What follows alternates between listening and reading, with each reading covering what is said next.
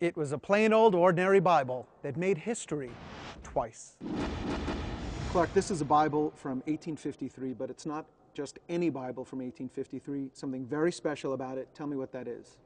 Jamie, this is the Bible upon which Abraham Lincoln took the oath of office as president on March the 4th, 1861. This one right here in your hands right now was swore in President Abraham Lincoln. The real McCoy. Utterly amazing. And there's an interesting detail here that the Bible is in fact authenticated as the genuine Bible that was used in the inauguration. Yes, I'm going to open this clasp and turn to the back. And here we have, if there's any doubt that this is indeed the inaugural Bible, there is a seal of the Supreme Court. This is your day job, Clark. You work here. Ah, Does yes. it ever blow your mind that you're standing here holding the Bible that Abraham Lincoln swore his oath of office? After decades here at the library, I'm still astonished.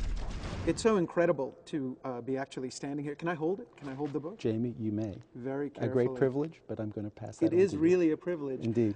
I almost feel a kind of disconnect. You talk about these great names and these great events, and then here we are with the object, and it's a thing we can hold in our hand. It's very real. It's very everyday in its way. It's a, it's a book that conjures up a particular moment in history, a particular time and place. This edition is not a particularly distinguished edition of the Bible. It was not owned by Abraham Lincoln. The person who purchased the Bible was William Thomas Carroll, who was a clerk of the Supreme Court.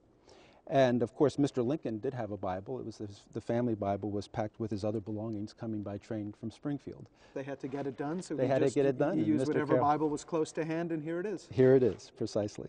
To bring the Bible into the present, Barack Obama has chosen to use this actual book for his own inauguration. Let's talk about that a little bit. Yes, well, of course, um, Barack Obama will be our first African American president, and of course, uh, Lincoln largely recalled as freeing the slaves. So there's great symbolism and great meaning in that.